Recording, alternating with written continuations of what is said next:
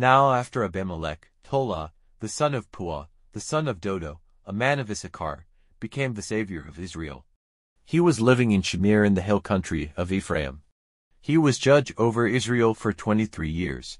And at his death his body was put to rest in the earth in Shamir. And after him came Jair the Gileadite, who was judge over Israel for twenty-two years. And he had thirty sons, who went on thirty young asses. And they had thirty towns in the land of Gilead, which are named Havothjair to this day. And at the death of Jair his body was put to rest in the earth in Kamon. And again the children of Israel did evil in the eyes of the Lord, worshipping the Baals and Astartes, and the gods of Aram and the gods of Zidon and the gods of Moab and the gods of the children of Ammon and the gods of the Philistines. They gave up the Lord and were servants to him no longer. And the wrath of the Lord was burning against Israel. And he gave them up into the hands of the Philistines and into the hands of the children of Ammon. And that year the children of Israel were crushed under their yoke.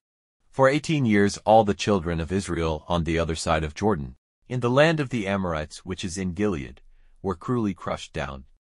And the children of Ammon went over Jordan, to make war against Judah and Benjamin and the house of Ephraim. And Israel was in great trouble.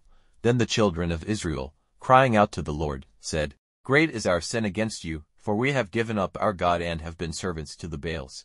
And the Lord said to the children of Israel, Were not the Egyptians and the Amorites and the children of Ammon and the Philistines, and the Zidonians and Amalek and Midian crushing you down, and in answer to your cry did I not give you salvation from their hands?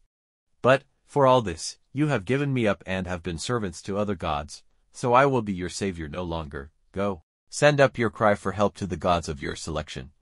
Let them be your saviors in the time of your trouble. And the children of Israel said to the Lord, We are sinners. Do to us whatever seems good to you, only give us salvation this day. So they put away the strange gods from among them, and became the Lord's servants. And his soul was angry because of the sorrows of Israel. Then the children of Ammon came together and put their army in position in Gilead. And the children of Israel came together and put their army in position in Mizpah. And the people of Israel said to one another, Who will be the first to make an attack on the children of Ammon? We will make him head over all Gilead.